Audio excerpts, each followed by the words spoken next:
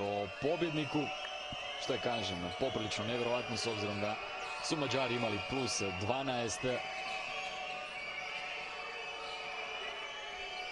Praktički cijelim dijelom ove posljednje četvrtine su vodili sa 10 pojena prednosti.